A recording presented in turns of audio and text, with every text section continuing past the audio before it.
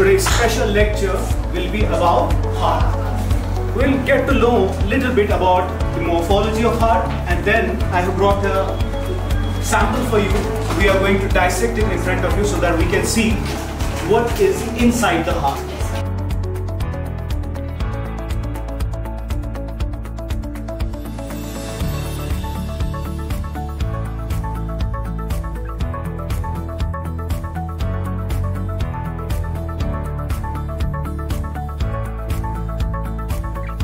Can see this conical part. This conical part is over here and this conical part is little bit slightly tilted towards left. Otherwise our heart is located at the center. Center. But apex is tilted towards Left.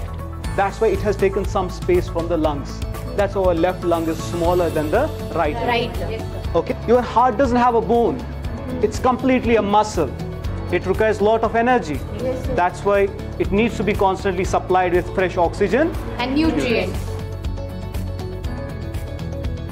The hands-on practical on gastrointestinal procedure provided an overview of the morphological and anatomical features of GI tract, particularly stomach.